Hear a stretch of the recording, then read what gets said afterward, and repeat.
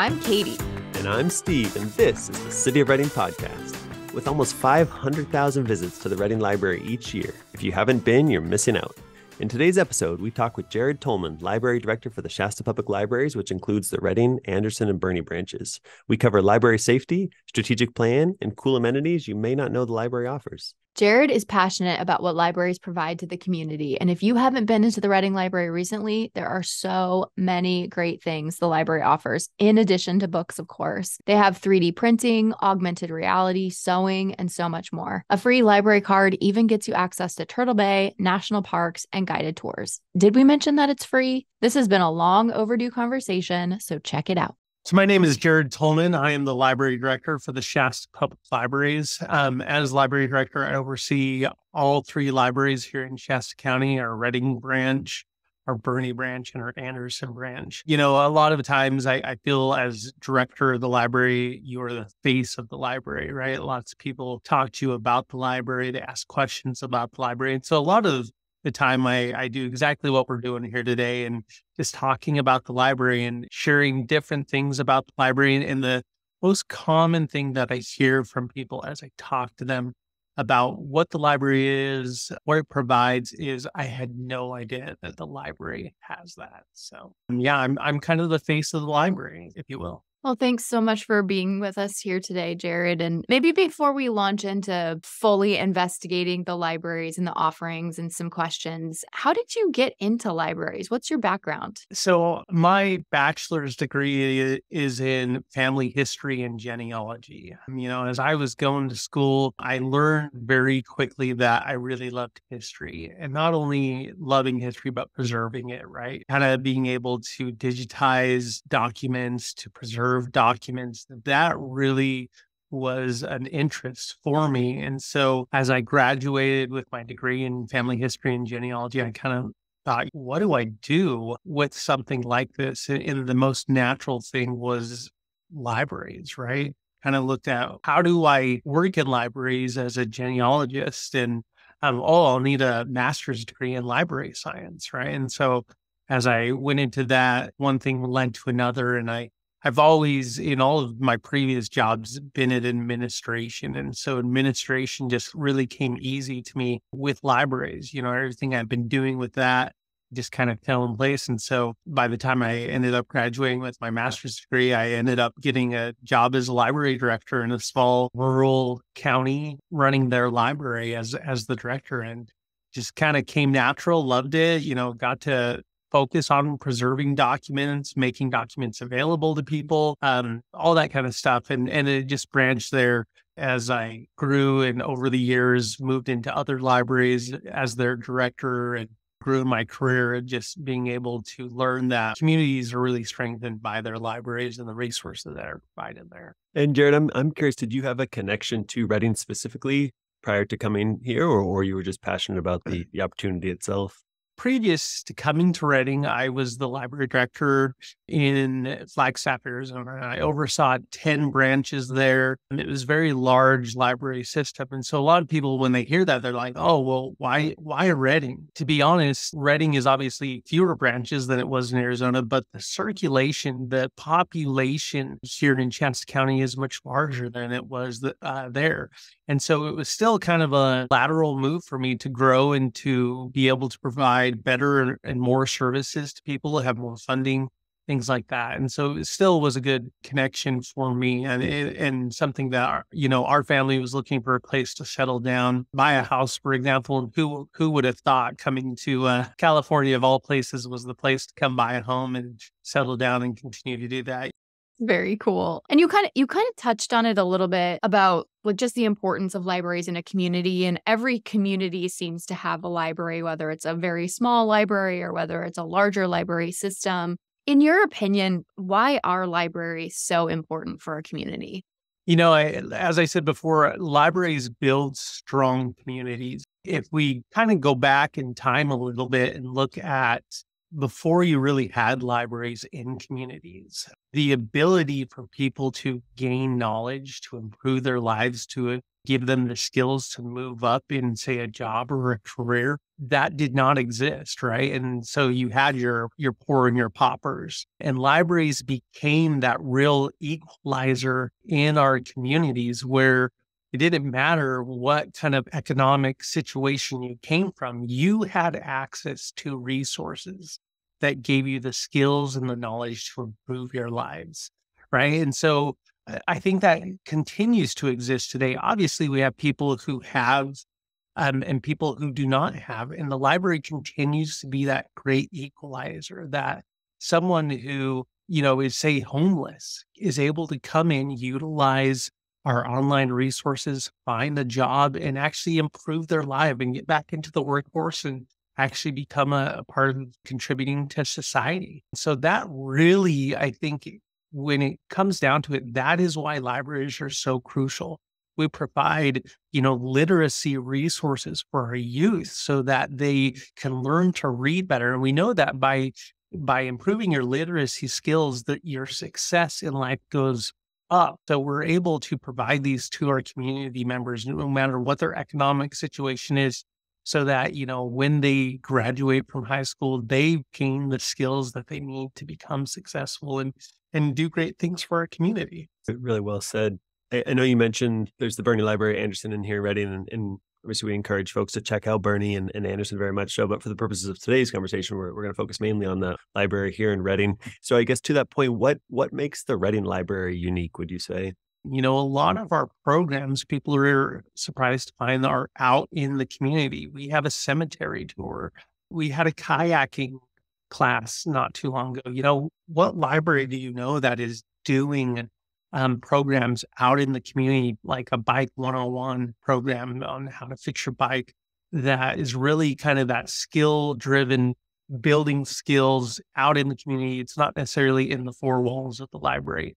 Um, and I think that speaks to our community, what our community is passionate about. The people people who live here in Shasta County love the outdoors and they love to get out in the outdoors. And so a lot of our programs, we have hiking programs that we help put on. People move here, like myself, who didn't know where the hiking trails are. And you can go to the library and participate in a library program and they'll take you on a tour and give you the history of the of the hike, the growing plants that are around, all that kind of stuff.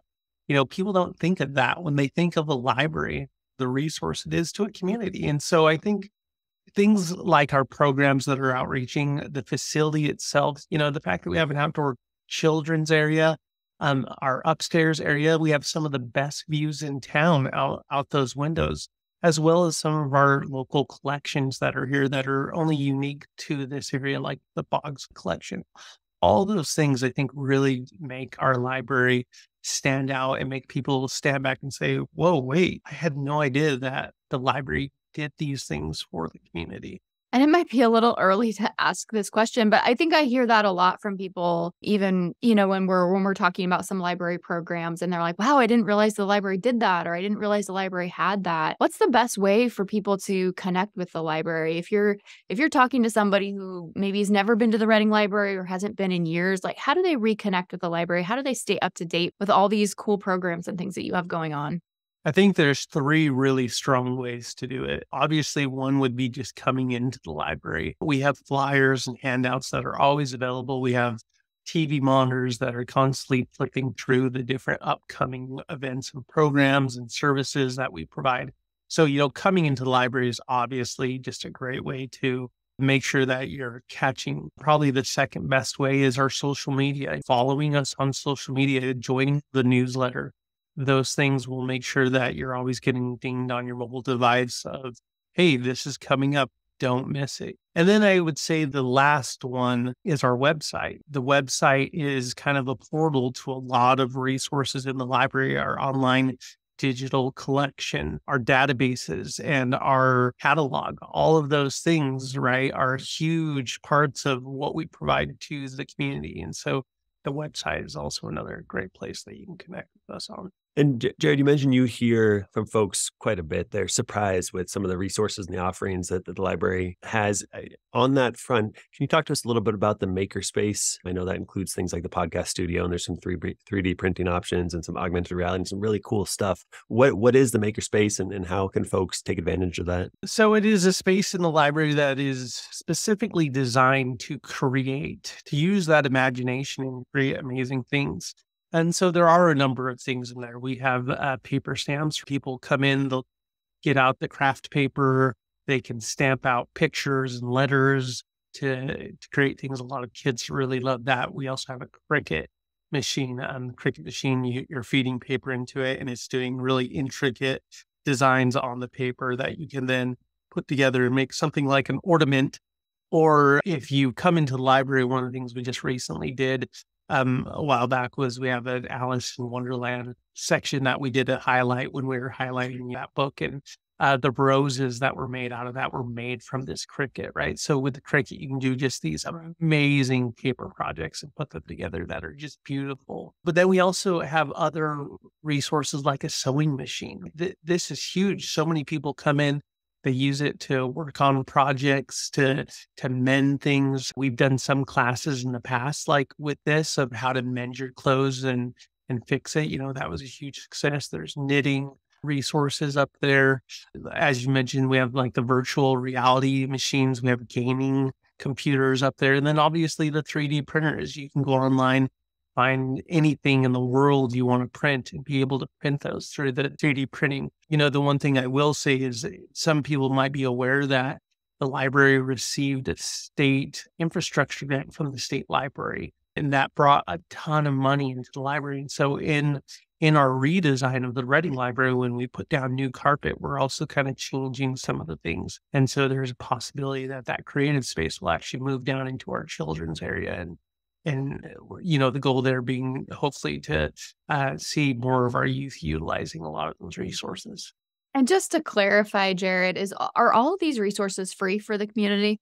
Absolutely. And again that comes back to the library being that great equalizer in the community. There is no cost to any of this right? You're able to come in show your credentials a, a piece of mail that has your address on it. Those things will get you a library card and then you're off on the race, you know, getting anything and everything that the library has to offer.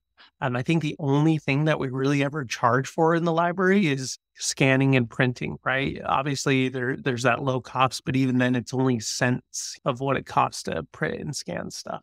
Jared, I'm curious. I mean, you you obviously have a wealth of experience both from your, you know, the other libraries you've been a part of and, and your education and things of that nature in your opinion, what in the age of kind of digital media and online resources, what what do you think the future of public libraries is? Yeah, it's a great it's a great question. When the internet came on the scene and, and started becoming a, a main source that people used. You know, at that time, people were like, oh, the, the libraries are going to die. And then we had ebooks, right? Digital books that came on. And again, people were like, oh, for sure, there is no need for a library, right? But libraries really surprised the community because they said, no, we're not dead. In fact, we we often change and adapt to these new resources that come out. And the main reason that we adapt to it is again, we realize not everybody has the same things, right? Not everybody does have a computer. So many people actually don't pay mm-hmm. for internet. And so the only place that they can go to get mm-hmm. it when they do need it periodically is the library. And so, yeah, when you saw the internet come on, libraries changed. They brought in computer areas, which we had, I think, over 20 public computers that people come get on. We have Wi Fi for the building. We're seeing more people obviously come in with their own device.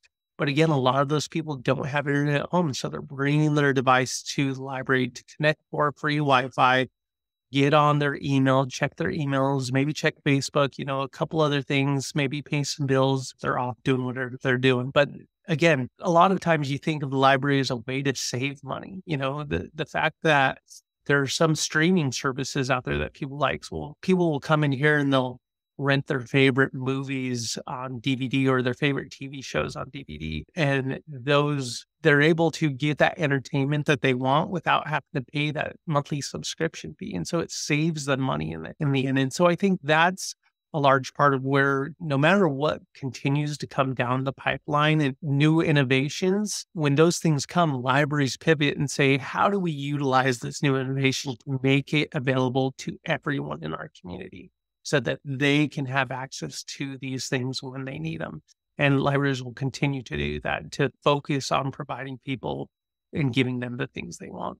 I mean, I think it's a good time to bring up um, the topic of safety because, I mean, the, the library is such a resource rich environment for a community and, and for any communities and you just listed off you know a dozen great resources that the library offers to people totally free of charge. They can take advantage of it anytime but obviously safety is a big concern for many in our community and it's it's not just downtown it's it's everywhere people are more hyper aware of their safety i think now more than maybe ever and the library seems to get labeled as unsafe, even though, you know, I personally I work by the library. I've been to the library. I visit the library. I do not believe that that's true, but this narrative kind of seems to hang out into the, in the community. What do you tell people who are concerned about safety at the library? When I first started, I, I received emails and, and comments about, you know, some of the the unhoused population that that comes around here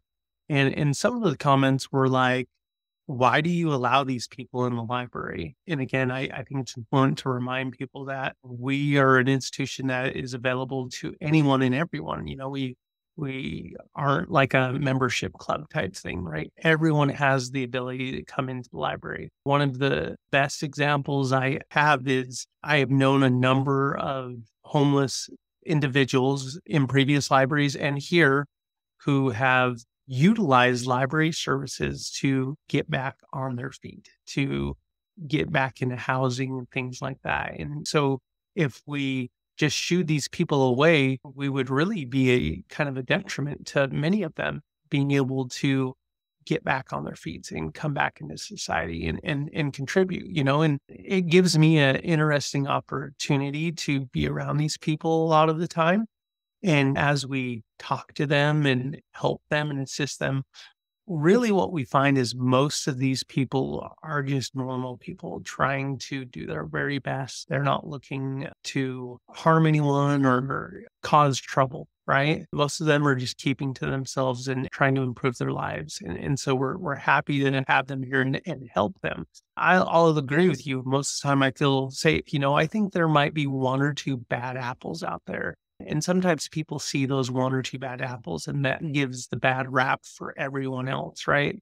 But I think the reality is it's it's just one or two people who, you know, to still a phrase, just want to see the world burn, right? And those individuals, we quickly move on and, and get them out of here because obviously they're just looking to, to make trouble, right? We have our security guards do a great job moving these people on. Police station is not very far from us. They come over whenever there's an issue and they they move these people on but the majority of them are really just in here utilizing the library. The other aspect of that that i want to point out is if you haven't been in the library in a while you should come check it out. You know there's this stigma of oh it's overrun. It's you can't even walk in there.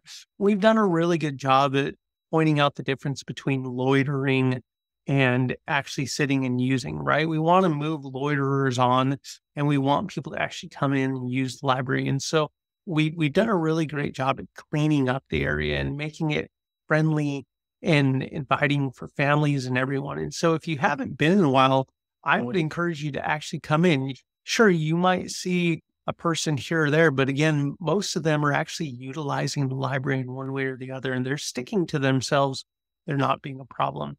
Um, and and it's cleaned up and it actually does feel quite safe and quite inviting. And last year when we did our Rev Rumble and Roar, we had I want to say it's over 150 people walking through this library.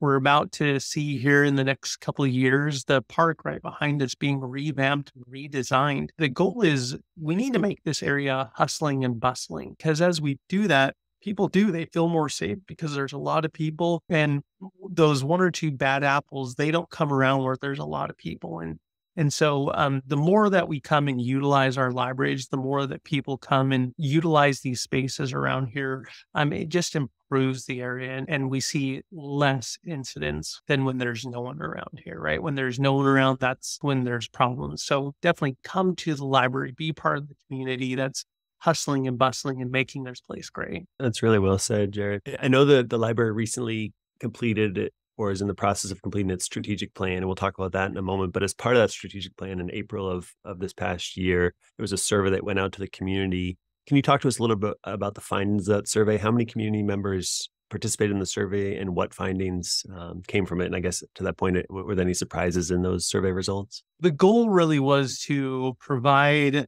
a way for the community to let us know what they wanted to see from the library as we kind of say, where should we focus for the next few years? Right. And so the survey, as well as, you know, we had a website where people go in and leave comments on the wall. All those things really helped us get a good idea of what the community wanted from the library. Some things that I like to point out is when we asked about satisfaction, we had 68% people say that they were very satisfied with the library. We had 82% say that they were very satisfied with our customer service. From these stats that we received on that, we found that a large majority of our community really is happy with how the library is going and how it's being used. Some of the other things that were focused on in the survey that we learned is people are interested in how to programs like life skill programs.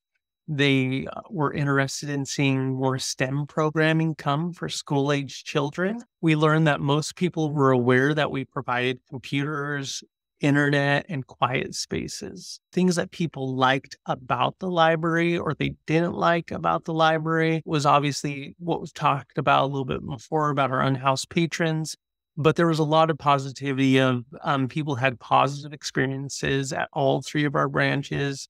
There was more requests for more ebooks and more quiet spaces, and that people also wanted more cultural and interactive learning from the library. We also learned from that that most of the people that filled out the survey, the largest demographic that filled out the library was 23 to 39.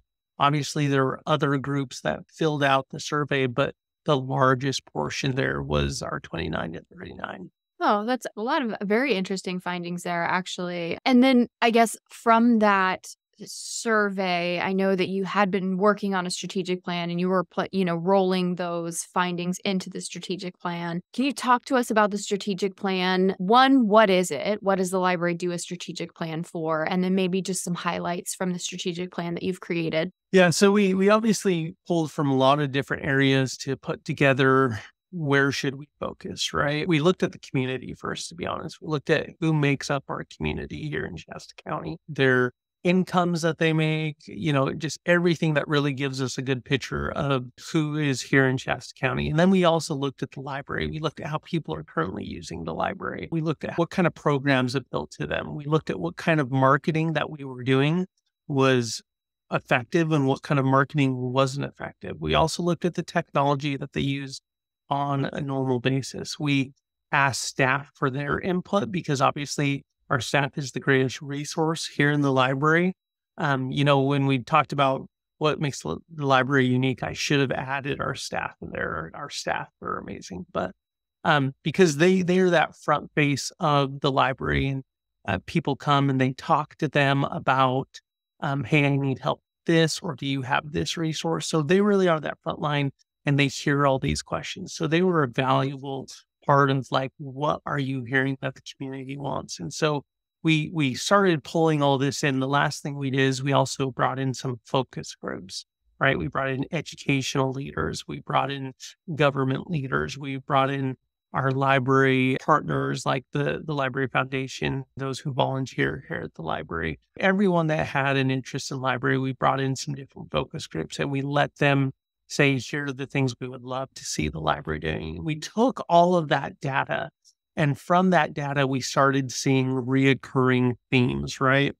And so the four areas that really came out of all of this data that we pulled in, including the survey and all that, was library awareness. People wanted to know more about what the library provided.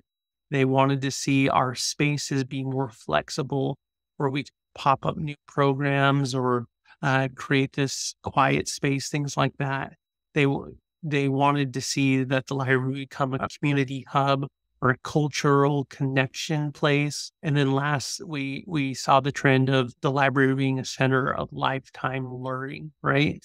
And so from those overarching themes that we heard from so many different groups and directions, we decided these are the four areas that we wanted to focus on. And that's kind of what a strategic plan is. Strategic plan is placed so it gives us direction because there are so many things that we could do that would be amazing. But if we try to do all of those things, we'll do a bunch of things kind of good, but not focus on just doing a lot of really great things.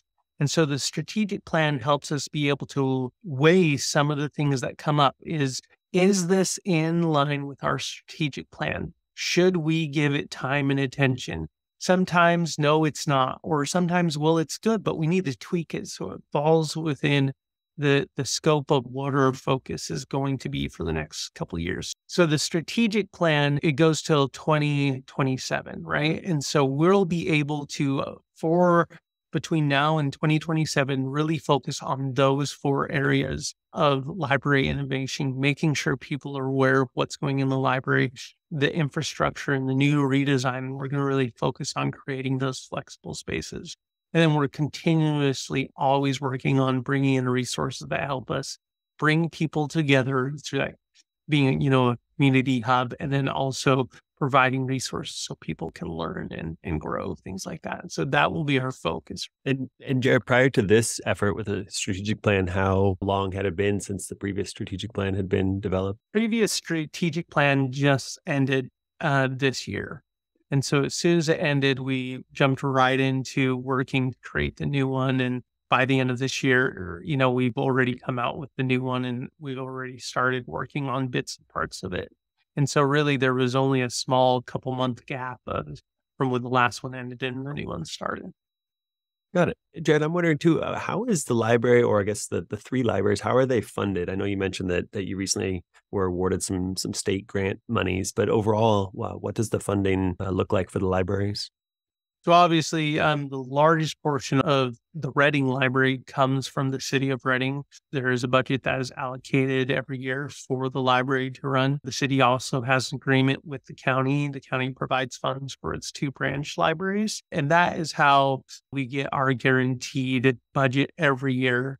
On top of that, we have two amazing groups, the Library Foundation and the Friends of the Library. Maybe I'll go into a little bit of how they they're different. The the Library Foundation is solely um, focused on raising money and putting that money into an interest growing account so that at the end of the year, they can go and take the interest that grew off of all of the money that has been put in over the last decade and give that money to the library. Um, and I think last year the foundation was able to give us ninety-two thousand dollars. I remember right. So not a not anything to ignore, right? That that's a significant amount of money that just helps us go into funding different great projects. The Friends of the Library a little bit different. You know, they are they constantly are taking donations in from community as people discard books that they no longer need. They give those to the friends. The friends go through and, and pick out books and they'll put them in the bookstore and they'll they'll sell them for I, I believe a dollar or two dollars. Every day that the library is open, the bookstore is open, people come in and buy a cheap book at the bookstore. They also put on a patio sale the first Saturday of every month. They'll put books out into our community room. Again, you can come buy those for a dollar. And then, you know, some books they get are actually quite valuable. And so they have an online portal where they will take these books that are a little bit more expensive and, and sell them for still a discounted price, you know, but it's not a dollar. And all the money that they then gather this way through the year, they then uh, give to the library. You know, most of our summer reading program funding and all that comes from the Friends of the Library, as well as some funding for a, a good portion of our programs, as well as buying books and things like that. You know, without these two groups, we would not be able to do half of what we do. Um, and that goes for all those who volunteer here at the library. We have people who come in and volunteer to help put books away that have been returned. That's a huge success. So, you know, I just want to put a shout out there. If you're looking for a way to serve and volunteer, highly recommend that you come talk to us. We would love to have you come volunteer and help us at the library. We cannot do half of the most amazing things that we do without our volunteers and without the support of our foundation and friends. And I also think it's worth mentioning, Jared, just the number of visits that you see every year. I think the most recent stat I saw from last year was almost close to half a million visits that come into the library, which is actually maybe a little low after the pandemic. Can you talk to us? Like, what's the average yearly visit number that you see from the community. I want people to realize that. I mean, people are visiting the library. There's a lot of great resources there. And this is, if you aren't visiting the library, you're missing out. Yeah, absolutely. Like, um, you know, when I, when I give you these numbers, I, I think you'll be blown away. But really, like, think about how many people came in they're coming in for a reason. You're missing out if you're not using the library. So you really should say, hey,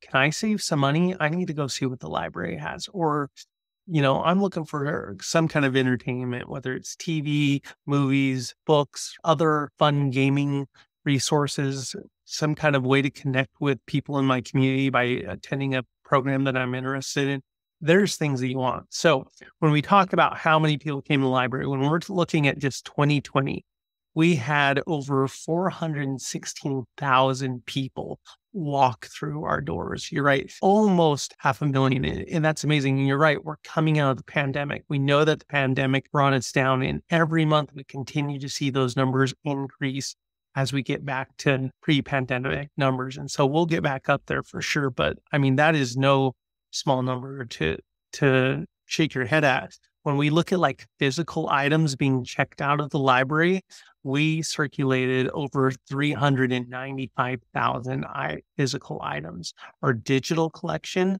circulated over 94,000 items. It's pretty significant. Wow, that really is amazing. Uh, and I guess kind of to to circle back, Jared, just going back to kind of some of the perks of acquiring your library card, just so we're, we're making it clear to folks. So there's no cost to to secure your library card. You come in with with either a, as you mentioned, an ID or a, a bill with your name on, or something along the, along those lines to get your free library card. What other perks or uh, you mentioned the digital library collection. Is that is that the Libby system, or is there an, another system with that? Also, some libraries, maybe in larger areas, offer museum passes or things of that nature. What are some of the other perks of, that would you know maybe in, uh, encourage a community member to come in and get that library card? Yeah, so you will need your driver's license and uh, a piece of mail with your address on it. Once you come in, you get your library card.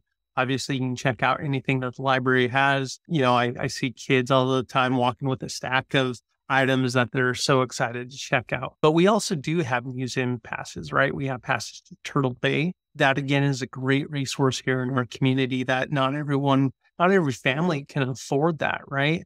But you can come with that library card and check out a pass and take your family it is a family pass to, say, Turtle Bay.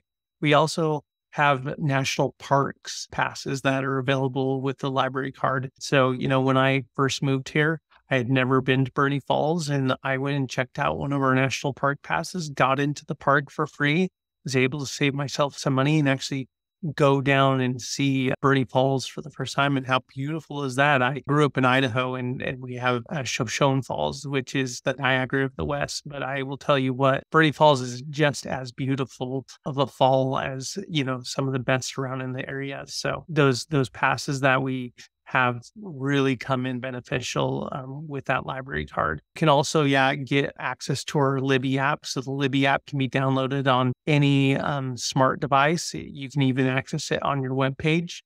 Um, and all it does is you take your library card, log it in, and you have access to thousands of ebooks and audiobooks. And now they're also doing magazines. So you know, say you're a cyclist and you subscribe to a bike magazine that you love you may find that we actually have that magazine. You might be able to save your save some money by no longer subscribing to that and getting it free through, through the library.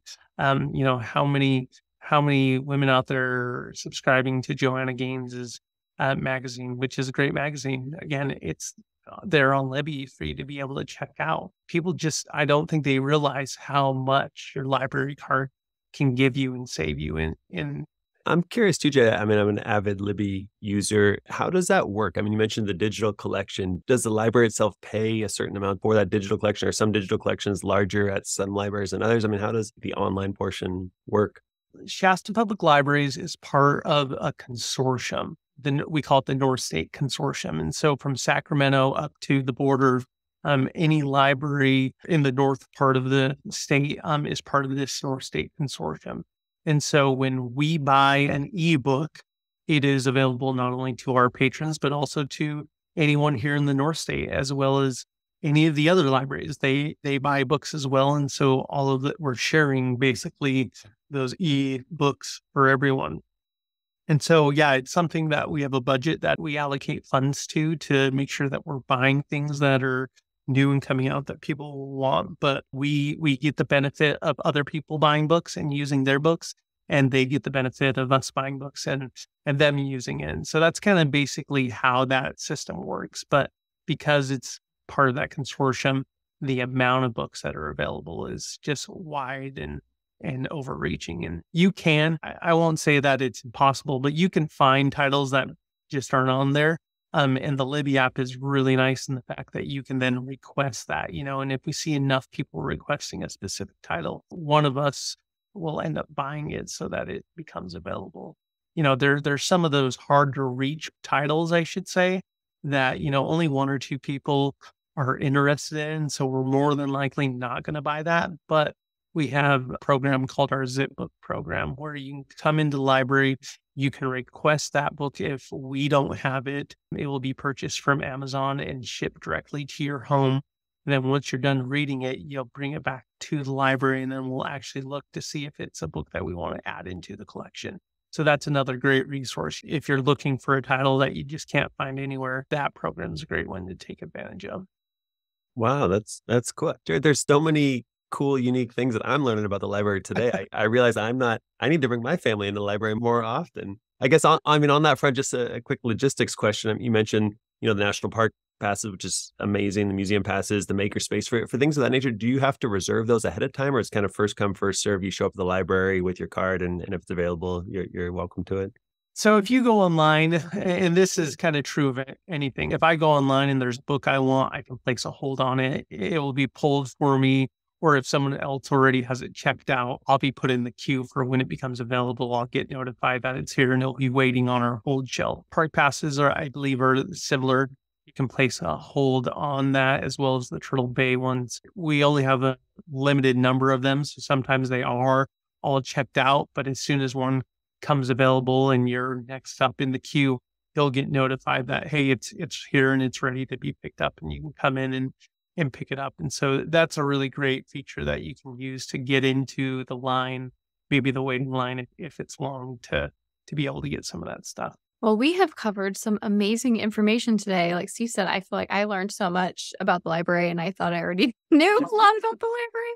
So, I guess just to wrap up, what's your favorite aspect of working in the library and what keeps you motivated in your role? You know, there's a couple things uh, making a, a difference in people's lives. That's really rewarding when you have been working with a patron who maybe is unhoused and they come in all excited that they got the job that they were applying for and and you can see how that moved them that that really does make a, a difference in your life and in the things that you can do you know uh, many of our librarians have this experience where someone's looking for a resource maybe it's a, a college student who is looking for something for a research paper and you've been helping them they come and tell you the grade that they got on the assignment and they're so thankful for all the help those things really do touch you. You know, my some of my kids are older and some of my kids are younger, right? And I grabbed a couple picture books. You know, we all love picture books, beautiful illustrations with fun stories. And I sat down with my youngest to read him some of these picture books. And I found that all of my kids gathered together, even the older ones. And, you know, sitting together as a family, reading a story like that. Sometimes there's nothing better than that to connect with your family and sit down and read a fun story that everyone's giggling at, right? That that's one of the, the aspects I love most about this job.